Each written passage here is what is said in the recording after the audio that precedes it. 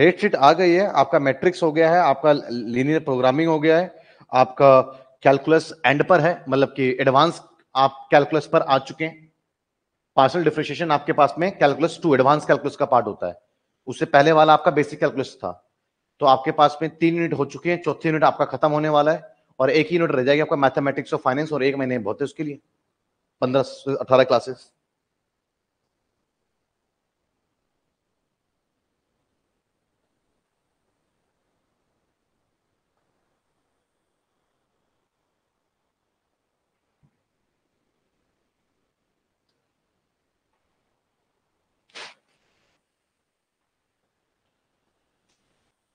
करें बच्चे इस क्वेश्चन को।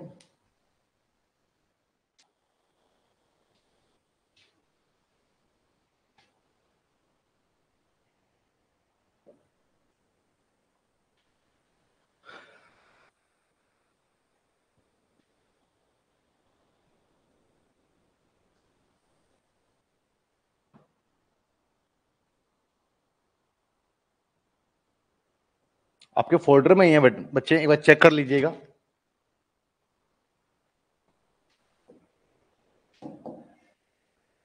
हाँ जी, देखिएगा। चलिए, आज मैं एक बार चेक कर लूँगा लीनियर प्रोग्रामिंग की क्लासेस सबसे पहले लेक्चर जो स्टार्टिंग में हुआ था ना आपका, यही हुआ था। मैट्रिक्स एंड डिटर्मिनेंट्स और ये। और मैं फिर से बता रहा हूँ, आपका सेमेस्टर फोर में बिज़नेस स्टैटिक्स है। कंपलसरी सब्जेक्ट है आपके लिए, आपके पास में कोई चॉइस उसका नहीं है। ध्यान रखिएगा। ये जो किताब देख रहे हैं ना आप, पता ना कितने लेक्चर्स चले गए इसमें जेके ठगरा की किताब है। एक ही टॉपिक कवर करवा ही रहा हूँ मैं, आपको मैं पढ़ा रहा हूँ, आप इस बात को समझ ही चुके हैं कि अपनी तरफ़ से हर टॉपिक को कवर किया जा रहा है, कुछ भी छोड़ने की कोशिश नहीं है। जो बिज़नेस स्टैटिक्स है ना, इससे डबल है, और वो कंपलसरी सब्जेक्ट आपको कोई चॉइस है ही नहीं। लेकिन हाँ एक बात मैं आपको ये भी बोल दूँ कि वो एक ऐसा सब्जेक्ट है, क्योंकि आपने स्टैट्स थोड़ा बहुत जब भी किया था ट्वेल्थ वगैरह में तो वहाँ पर बेसिकली ना आपको प्लस करना रूट निकालना, उसका आपको बड़ा दिक्कत हुआ करती थी, और उसमें आपका मन नहीं करता था। लेकिन अब आपके पास कैलकुलेटर है तो वो इश्यू है नहीं कि आपके आंसर गलत आएँगे। और वो इससे आसान है। बिज़नेस स्टैटिक्स बिज़नेस मैथ से बिज़नेस मैथ का 40 परसेंट आप ले लीजिए। 40 टू 30 परसेंट ले लीजिए। डिफिकल्टीज लेवल में 40 परसेंट है। लेकिन सिलेबस इतना ज़्यादा है फॉर्मूले बहुत बड़े बड़े हैं। उसके लिए मैं आपको बता देता हूँ जैसे मैं आपका कोर्स वाइंड अप करूँगा बिज़नेस स्टैटिक्स स्टार्ट कर दूँगा। आपके एग्ज़ाम होगा तो क्योंकि आपका तो एग्ज़ाम्स भी है रिज़ल्ट भी है मुझे तो कोर्स को टाइम पे करना होता है। अगर मैं बिल्कुल आपके एग्ज़ाम के फिनिश हो, हो करके फिर आपके रिज़ल्ट का और फिर आपके मूड का अगर मैं वेट करूँगा ना बच्चे तो मुझे तो डेढ़ महीना ही मिलेगा पढ़ाने के लिए क्योंकि आप लोग अभी एक्टिव हो रहे हैं और अभी आपका एग्ज़ाम से आप डेढ़ महीने दूर हैं। तो डेढ़ महीने के अंदर आप भी जानते हैं कि फिर वो सिलेबस पूरा नहीं होगा। एटलीस्ट मैं पहले भी अगर आपका काम आ, कर दूँ तो वीडियोस तो आप देख सकते हैं बाद में टाइम आपके टाइमिंग ज़्यादा है। तो इसलिए आपके एग्ज़ाम खत्म होते ही, मैं पहले भी नहीं बट एग्ज़ाम जिस दिन ओवर होगा आपका, जिस दिन फिनिश होगा आपका बिज़नेस मैथ्स का पेपर होगा, मैं बिज़नेस स्टार्ट पढ़ाना शुरू कर दूँगा उसके नेक्स्ट डे से। उससे पहले तो नहीं पढ़ा सकता, उससे नेक्स्ट डे से मैं पढ़ाना शुरू कर दूँगा आपको। हाँ जी, देखिए। एक्स वन आपके पास में ये पी वन है और ये टू और ये आपके पास टू है। ठीक है, देखिए जरा। तो आपके पास में डेरिवेटिव ले रहे हैं ना आप margin demand function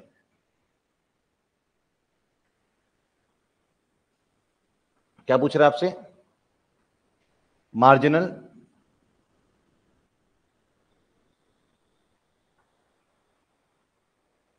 demand function with respect to पहले किसका, कौन सा फ़ंक्शन का? Demand function marginal demand function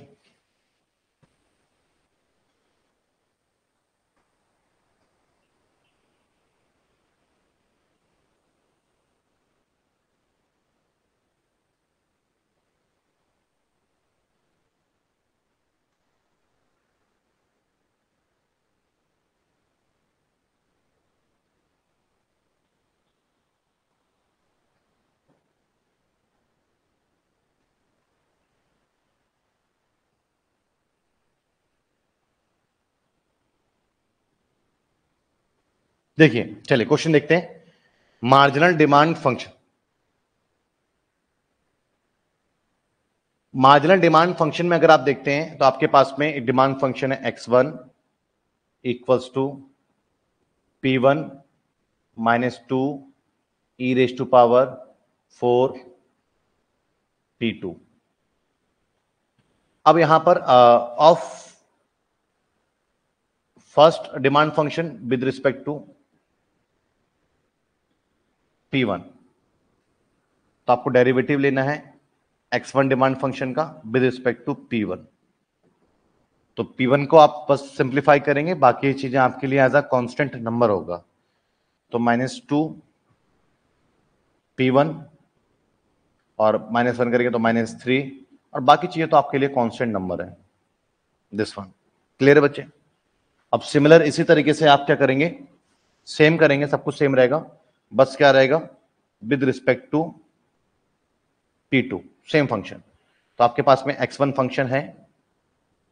P one minus two into इस to power four P two तो डेरिवेटिव लेंगे आप एक्स फ़ंक्शन का with respect to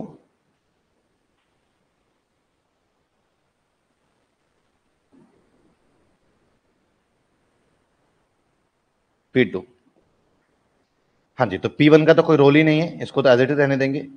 अब E raised to power something always E raised to power something but अगर वो x नहीं है, कुछ और है लाइक like पी के रिस्पेक्ट में करें पी नहीं है बट कुछ और है तो अकॉर्डिंग टू चेन रूल इसका दोबारा डेरिवेटिव लेना पड़ेगा आपको।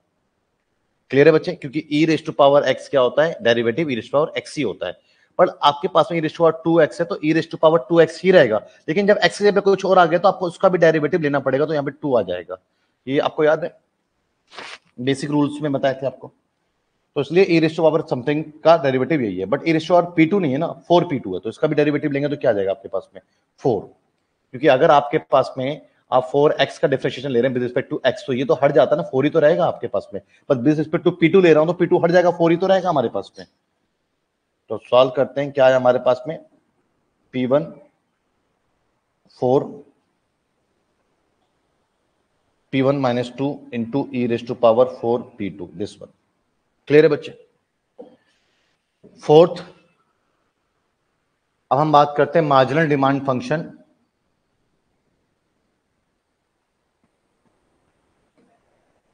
marginal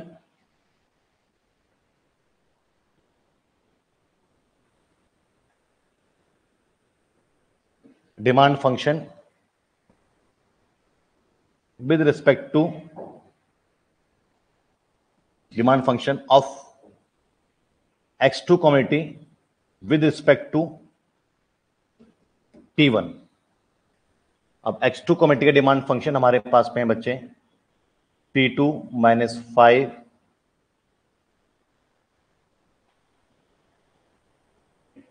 E raised to power six P one हाँ जी तो आप डेरिवेटिव ले रहे हैं किस डिमांड फ़ंक्शन का? एक्स टू का with respect to P one तो बस पी वन पे फोकस करेंगे पी टू आपके लिए कांस्टेंट नंबर होगा। तो पी टू आपके लिए कांस्टेंट नंबर है, बस पी वन पर। तो E raise to power something always derivative E raise to power something होता है। बट पी वन के रिस्पेक्ट में बस पी वन होना चाहिए बट पी वन नहीं है, कुछ और है। तो इसका भी डेरिवेटिव लेना पड़ेगा ना आपको। मैं फिर बता देता हूँ पी वन किसका? सिक्स पी वन का। मैं करके दिखा देता हूँ, थोड़ा सा। P two raise to power minus five E raise to power six P one और इन टू क्या हो जाएगा? आपके पास में सिक्स हो जाएगा। क्लियर है बच्चे? अब यहीं पर इसी तरीके से अगर आप क्वेश्चन कर रहे हैं with respect to P two तो derivative of X two function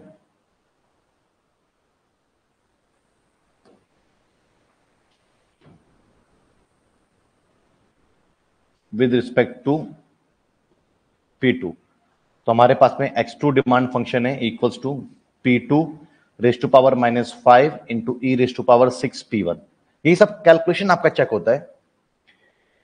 चलिए डेरिवेटिव ले रहे हैं, आप किसका ले रहे हैं? एक्स टू फ़ंक्शन का ले रहे हैं विद रिस्पेक्ट टू आप derivative P two this one तो आपके पास में पी टू का डेरिवेटिव होगा तो माइनस पाँच और पी टू और पावर माइनस सिक्स हो जाएगा और आपके पास में E raise to power six P one क्योंकि ये तो एज अ कॉन्स्टेंट नंबर हुआ ना आपके पास में दिस वन क्लियर है बच्चे? अब आपको रिलेशनशिप अगर आपको जानना है और रिलेशनशिप को समझना है तो डिमांड जिसका प्राइस किसी और का तो डिमांड एक्स फ़ंक्शन है तो प्राइस किसी और का, यहाँ पर। ये चलेगा प्राइस किसी और का है टू का है और डिमांड पहले वाले का है। तो यहाँ पर रिज़ल्ट क्या आया आपका? पॉजिटिव आया तो मतलब कॉम्पिटेटिव गुड्स है। यहाँ पर भी देखिए तो दोनों में सिमिलर ही होता है, यानी कि यहाँ कुछ और, यहाँ कुछ और हुआ। कहीं से बस एक इनफ इस चीज़ को आंसर देने के लिए कि पॉजिटिव रिलेशन है। अदरवाइज़ आप देखेंगे तो यहाँ पर आपके पास में एक्स टू डिमांड है प्राइस वन है तो ये भी क्या आपके पास है पॉजिटिव है। तो कहीं से भी आप इस बात को आप अप्रूव कर सकते हैं। क्लियर है? तो आपके पास में ये आपका कॉम्पिटेटिव गुड्स है सब्सिट्यूट गुड्स है। क्लियर है? समझ में आ गया बच्चे? जैसे 2013 में आया हुआ है बीकॉम में ऑनर्स में। कि the demand function of the two commodity X one X two equals to this given है। और respectively X one X are the quantities of the demand of X one X two ठीक है। And the P one P two the price of the respectively find the four partial elasticity of demand and the determine the whether the communities are competitive और complementary तो elasticity of demand मैं already आपको करवा चुका हूँ बच्चे। Elasticity demand का formula क्या होता है? बताइए जरा। डेरिवेटिव ऑफ़ एक्स अपॉन में respect to price into P by X elasticity of demand होता है ना? और आप हमेशा इस बात का आप ध्यान रखेंगे कि प्राइस इलास्टिसिटी ऑफ़ डिमांड में आपके पास में डिमांड फ़ंक्शन है तो आपके पास में चार पॉसिबिलिटीज आ गई है। कि पहली कमेटी की आपके पास में डिमांड फ़ंक्शन है और उसी के प्राइस के रिस्पेक्ट में आप डेरिवेटिव लें। और अगर आपके पास में आ, दूसरा आपके पास में कि डिमांड फ़ंक्शन पहले का प्राइस दूसरे के रिस्पेक्ट में ले लें तो ये क्रॉस इलास्टिसिटी ऑफ़ डिमांड हो गया। और और क्रॉस इलास्टिसिटी ऑफ़ डिमांड अगर आपका नेगेटिव आ जाता है तो ये आपके पास में एक कॉम्प्लीमेंट्री गुड्स होगा। नहीं समझे मेरी बात को? चलिए पहले आप देख लीजिए मैं एक क्वेश्चन करवा करके इसको प्रूफ कर देता हूँ। पहले इलास्टिसिटी ऑफ़ डिमांड का फॉर्मूला क्या होता है? वो देखिएगा। इलास्टिसिटी ऑफ़ डिमांड हम ऑलरेडी पढ़ चुके हैं इस टॉपिक को तो ज़्यादा इसको लेंथी नहीं खींचेंगे। हमारे पास में होता है derivative of X function with respect to price into P by Q P by X this one clear है? अब यहाँ पर मैं डिमांड फ़ंक्शन कौन सा है मेरा? मैं इस चीज़ को मेंशन कर देता हूँ ना। कि मेरे लिए जो डिमांड फ़ंक्शन है, मैं कौन सा ले रहा हूँ? दो दो डिमांड फ़ंक्शन है। तो पहले वन से स्टार्ट करते हैं अभी तक करते हैं demand function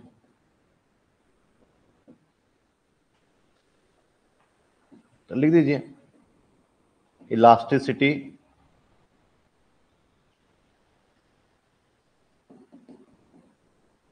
elasticity of demand is X one function X one function का निकाल रहे हैं। With respect to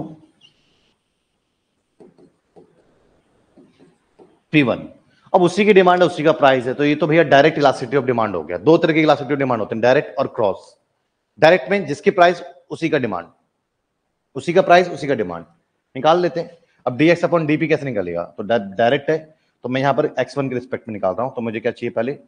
Derivative of X one function का ले रहा हूँ मैं with respect to P one और वो मैं ले सकता हूँ इजिली तो मेरे पास में एक्स वन फ़ंक्शन क्या है? एक्स वन फ़ंक्शन मेरे पास में है this one X one function is the derivative ले लेते हैं with respect to P one लिख देता हूँ मैं एक्स वन फ़ंक्शन को एक बार। वो है P one raise to power minus one point four P two raise to power zero point six ठीक है। तो derivative of D X one upon D P one equals to अब solve क्योंकि यहाँ पर अगर आप ईडी निकाल रहे हैं तो ईडी के लिए क्या फॉर्मूला बनेगा? D X one upon D P one उसी के प्राइस रिस्पेक्ट में कर रहे हैं into P one by X one अब आप यहाँ सॉल्व करेंगे तो डेरिवेटिव लेंगे P1 के रिस्पेक्ट में तो P1 की पावर में क्या हो जाएगा? ये पहले minus one point four P one की पावर माइनस वन आपके यहाँ लग जाएगा माइनस वन कर देंगे तो माइनस टू पॉइंट फोर और P2 टू तो एज अ कॉन्स्टेंट नंबर है दस वन क्लियर है बच्चे? ये तो डायरेक्ट इलास्टिसिटी ऑफ़ डिमांड हो गया। अब मैं यहाँ पर इलास्टिसिटी ऑफ़ डिमांड ऐसे भी निकाल सकता हूँ। ये तो ये डायरेक्ट हो गया क्रॉस इलास्टिसिटी डिमांड मतलब कि elasticity of demand elasticity of demand function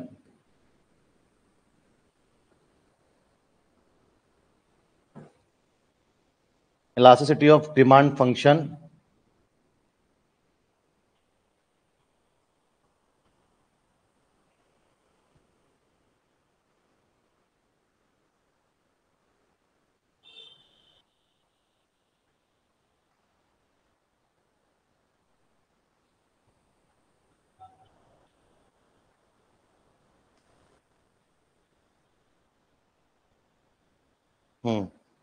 देखिए इलास्टिसिटी ऑफ़ डिमांड फ़ंक्शन कौन सा ले रहे हैं हम? एक्स टू या एक्स वन का ले लीजिए, कोई बात नहीं। But with respect to P one अब देखिए डिमांड पी टू देखिए डिमांड किसी और का है और प्राइस किसी का और का है तो इसी को हम क्या बोलते हैं?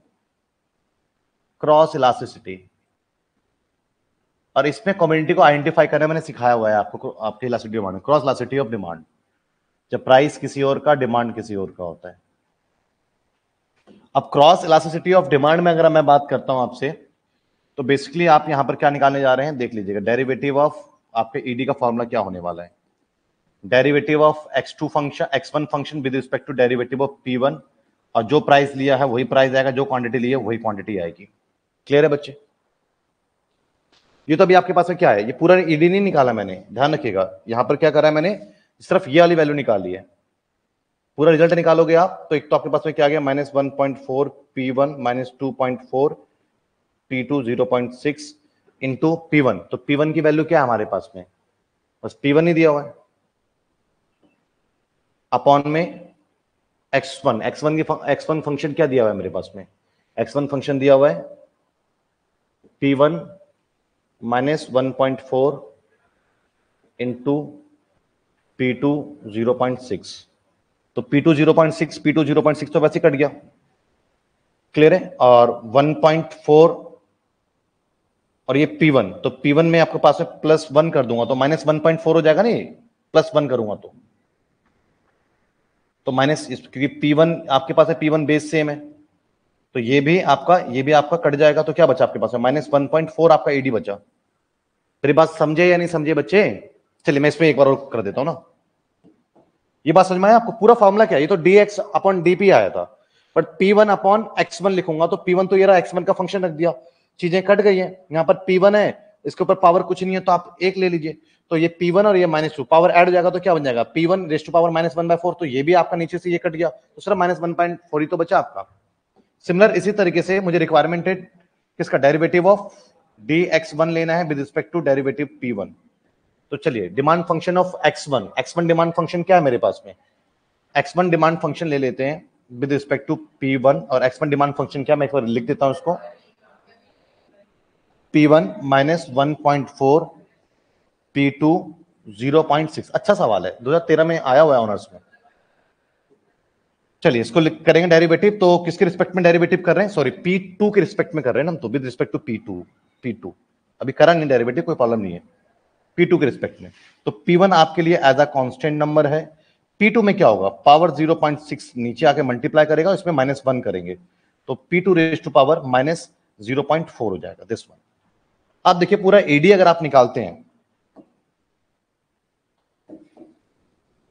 पूरा अगर आप ईडी निकालते हैं तो क्या ईडी का फॉर्मूला क्या है? D X D X one X one और पी टू ले रहे हैं। ठीक है बच्चे? क्रॉस लासिटी में। डिमांड पहले का, प्राइस दूसरे का। तो प्राइस दूसरे का और डिमांड पहले का। जो चीज़ डिसाइड कर ली वही चलेगा आपका। हाँ जी तो मुझे क्या चाहिए? D X X one upon P two जो कि क्या है मेरे पास में? Zero point six P one minus one point four P two minus zero point four this one into अब क्या चाहिए मुझे? P two upon X two तो पी टू क्या है? पी टू तो पी टू है। और upon X one X one क्या है मेरे पास में? एक्स वन मेरे पास में है P one minus one point four into P two zero point six clear है बच्चे? कुछ कट रहा है तो कट, काटिए। दिस वन कट गया आपके पास में। और यहाँ पर अगर आप देखते हैं तो P2 और P2 इसमें ऐड करेंगे तो क्या आ जाएगा आपके पास में? माइनस 0.6 ये भी कट गया तो क्या बचा? 0.6 तो ये पॉजिटिव आपका आया। क्रॉस वाला अगर आपका पॉजिटिव आ जाए खैर डायरेक्ट तो ऑलवेज नेगेटिव आएगा, उसके भी ऊपर चिंता मत कीजिए, क्योंकि एक कम्युनिटी के प्राइस और उसी की डिमांड में इनवर्स रिलेशन होता है ऑलवेज होता है, वो तो पता ही आपको, चाहे कम्युनिटी कोई सी भी हो। तो वो तो हमेशा डायरेक्ट में नेगेटिव आएगा। लेकिन क्रॉस में अगर आपका नेगेटिव आ जाए तो कॉम्प्लीमेंट्री गुड्स है और पॉजिटिव आ जाए तो कॉम्पिटेटिव गुड्स है। क्लियर है? तो क्रॉस वाले में पॉजिटिव आ गया तो कौन सी गुड्स है ये? ये कॉम्पिटेटिव गुड्स है। ये बात समझ में आपको आई बच्चे? क्लियर है?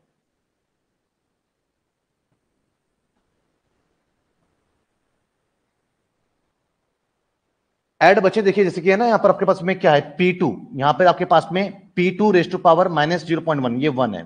तो माइनस ज़ीरो पॉइंट फोर और पावर इसका वन ऐड हो जाएगा, क्योंकि बेस सेम है तो पावर ऐड हो जाएगा। तो क्या हो जाएगा? ज़ीरो पॉइंट सिक्स हो जाएगा पावर तो ज़ीरो पॉइंट सिक्स पहले तैयार है काटने के लिए।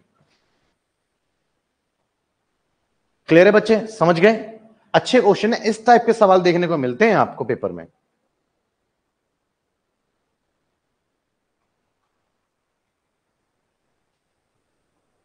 चलिए बच्चे नेक्स्ट क्लासेस में मिलते हैं और प्रैक्टिस करेंगे सवाल पर। आज थोड़ा सा आ, रहा था थोड़ा कंटेंट ज़्यादा था जल्दी भी निकलना था तो बट मैंने थोड़ा स्पीड में पढ़ाया। नेक्स्ट क्लास में स्लोली स्लोली पढ़ेंगे ठीक है? मिलते हैं बच्चे फिर नेक्स्ट क्लासेस में। थैंक यू बच्चों thank you so much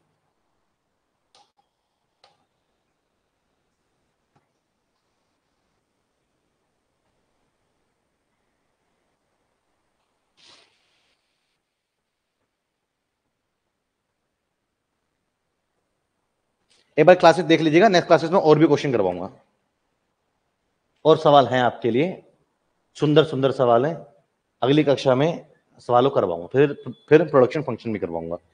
next classes में उम्मीद करते हैं कि आपका खत्म हो जाएगा इंटीग्रेशन एक लास्ट टॉपिक रह जाएगा। फिर क्या क्लास फिनिश मिलते हैं बच्चे नेक्स्ट क्लासेस में।